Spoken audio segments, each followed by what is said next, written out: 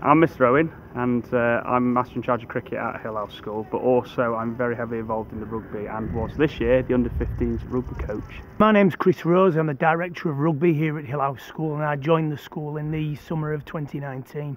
The quality of coaching is outstanding, like you don't get this anywhere else. With the under 15s we created, me and Mr Rose, this environment where the pupils were enjoying their rugby uh, but also we were getting the basic skills in as well from obviously me and Mr Rose being a rugby league background and thinking something that's very very important that we could bring that to rugby union at the school and enable them to understand these skills and transition that into a game. We got Mr Owen, he's great, he like when we're down, he'll help us up. Mr Rose and Mr Owens have brought like their league background into the school.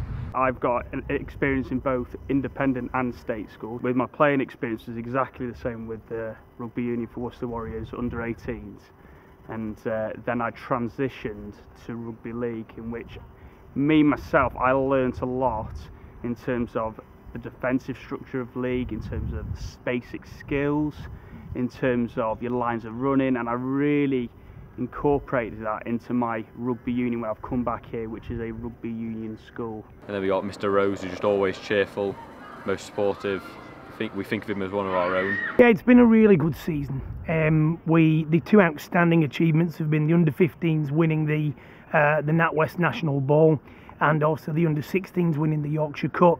A huge part of that for me was to develop a culture of enjoyment around rugby.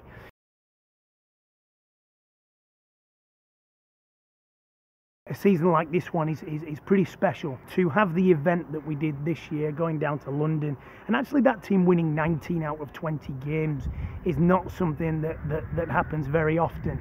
The, the, the big accomplishment really is doing that with a year group that has something like 30 boys in it. And when you think that 20, 20, 22 boys have been involved in that journey, I think that, that for me really does highlight the, the scale of the achievement and, and, what we have done. It can only go up from here. I mean, in terms of the rugby we've seen this year, in terms of not just at the under 15s but across all age groups, you can see how not just the performances but the enjoyment. We play other major sports as hockey and cricket, and getting that fine balance within a day's worth or a week's worth at Hill House is something we really want them to have that rounded experience.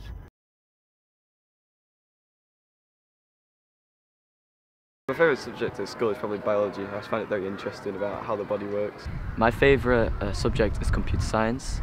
When I'm not playing rugby, uh, my favourite subject is history, and I really enjoy learning about different aspects of history, especially the Middle Ages and in our local area. It really interests me.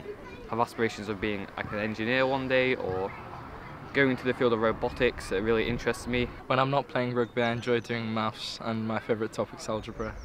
My favourite subject is probably history. Uh, I'd love to be like a curator of a, a museum.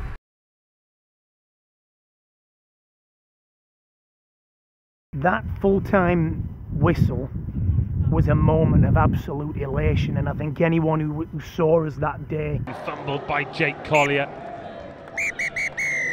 And that is full time Hill House erupt in celebration. The bench empties it is the biggest moment of those young men's rugby lives. It all came out really at that at that moment of the final whistle. Oh, it was absolutely fantastic. It was really, really good. We came through some obstacles um, to get to where we got, but uh, took it one step at a time. And um, in the end, it was really rewarding seeing the pupils themselves. Um, they were absolutely ecstatic, and it's something they're never going to forget. Um, so that was the best part for me. But it was the culmination of uh, um, uh, the work of a wonderful group of people and players, and we'll not be taking a lot of time off. You know, we'll be we'll be working pretty hard in the in the coming months as we build up to to next year.